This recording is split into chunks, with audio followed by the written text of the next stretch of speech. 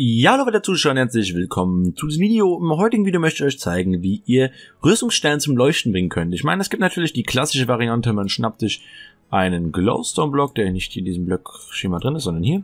Glowstone-Block, Rüstungsstelle oben drauf, ne? Und eine Lampe, was weiß ich, und dann verkleidet man das unten irgendwie hübsch und der Rüstungsstelle beginnt zu leuchten. Das ist aber kacke, wenn man gerade irgendwas machen will und man kriegt das Ganze auch hin. Ja, man kann auch sowas haben, wenn man einfach beispielsweise eine Treppe hat. Ja, ich mache das mal als Beispiel. Man hat eine Treppe, ein Podest ähm, und hat dann seitlich vielleicht noch Dinger dran und möchte hier oben drauf einen leuchtenden Rüstungsständer hinnehmen. Wie machen wir das? Wir nutzen Endrods.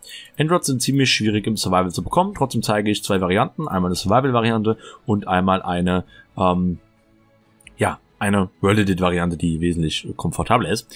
Aber Problem, wir können nicht die Endrod einfach hinseitig drauf platzieren. Wir können auch nicht den hier reinrutschen lassen, wie es bei Zäunen üblich ist. Ne? Bei Zäunen kann man einfach den Rüstungsturm draufstellen und der sagt durch. Zack.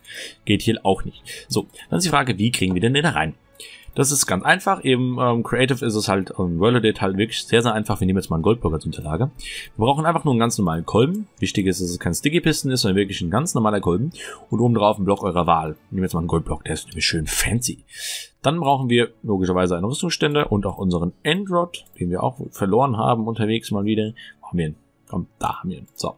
Der kommt oben drauf. Sieht ein bisschen kacke aus, lassen wir aber erstmal so. Lassen wir es noch ein bisschen beschissener aussehen. So sieht auch wirklich super aus. Und dann kommt oben drauf unsere Rüstung.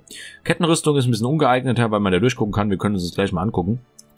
Und dann ziehen wir hinten drauf eine Blockreihe hoch. Es kann auch einfach nur ein Block oben drüber sein. Das heißt, diese Blockreihe hinten dran ist eigentlich relativ egal. So, wenn wir das haben, dann drücken wir einfach ein Knöpfchen. Zack. Und ihr seht, der leuchtet. Also wir sehen es noch nicht, aber wir können mal kurz auf Nacht schalten. Ähm, das Ding leuchtet. Na, zack. Ähm, ist eigentlich ganz nett. So, natürlich können wir da unten drunter jeden anderen Block unserer Wahl nehmen. Wir können das Ganze ja mal kurz testen. Wir nehmen jetzt einfach mal hier die besagte Treppe, die wir schon, die ich schon angeteasert habe sozusagen. Nehmen die Treppe, setzen oben drauf wieder unsere Android oben drauf, oben drauf unsere Android oben drauf, ja. Zack, und wieder die Rüstung.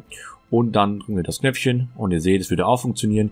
Könnten wir hier irgendwie die Türen dran machen, hinten dran eine Wand und dann vielleicht irgendwie einen schönen Boden drunter, ja.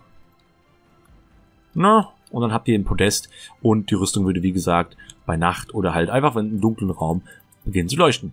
Der kleine Vorteil bei dem Ganzen ist auch, dass man das Ding, ganze Ding nicht mehr passieren kann. Man kann hier nicht mal einfach so durchlaufen. Ähm, und damit man das auch machen kann, dass man vielleicht das Ding komplett irgendwas versperrt, gibt es auch einen kleinen Trick für. Und zwar können wir auch nicht nur ein ähm, Android da reinpacken, sondern gleich zwei. Das gleiche Prinzip. Wir packen mal was hin, nehmen dann mal hier die Treppe mal, auch weil die jetzt Standard ist, Classic sozusagen. Komm hier, Treppe, komm. So. Das Mausrad wollte gerade irgendwie nicht. Und dann platzieren wir einfach zwei Androids übereinander. Ich mache die jetzt mal so, dass die hübsch übereinander sind. So. Und dann kommt oben drauf wieder unseren Rüstungsständer. Zack. Dann ziehen wir das Ganze wieder hoch. Oben in die Decke rein. Und dann brauchen wir wieder ein Knöpfchen. Das drücken wir wieder. Zack. Und dann seht ihr, ist eins reingerutscht. Jetzt alle, die ein bisschen schlau sind und ein bisschen mitdenken können, das soll jetzt natürlich nicht beleidigend sein, die, die es nicht sofort wissen, erhöhen wir das Ganze einfach einmal und schwupps ist die ganze Kacke jetzt komplett da drin. Wir müssen natürlich immer gucken, das ist alles ein bisschen Texture Pack abhängig, inwiefern welche Rüstung oben drauf passt. Vielleicht passt auch gar keine, ich weiß nicht, aber ähm, kann man so machen. Und tatsächlich ist diese Rüstung jetzt vollkommen unpassierfähig. Man könnte jetzt, ich weiß nicht, inwiefern es funktioniert, ob man hier seitlich vorbeilaufen kann. Nein, kann man nicht, perfekt. Äh, könnte man beispielsweise irgendwie machen.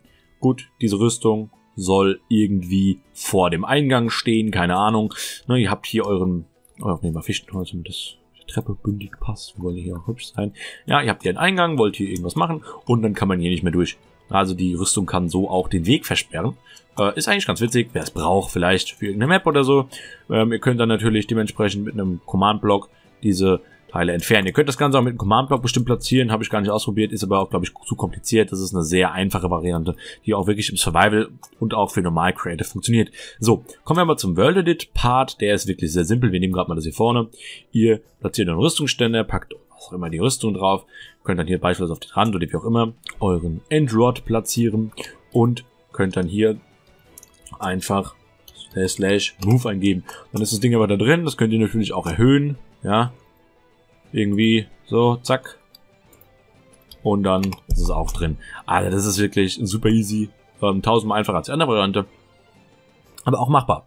Gut, ich hoffe, ihr könnt es irgendwie gebrauchen. Ich habe es mal beim Bauen ein bisschen rausgefunden. Ja, witzig gehabt, vielleicht auch hier oben so ein Rand. Kann nervig sein. Was nur euch nicht empfehlen kann. Ich glaube, man sieht es sehr stark. Wir können es mal kurz testen mit der Kettenrüstung.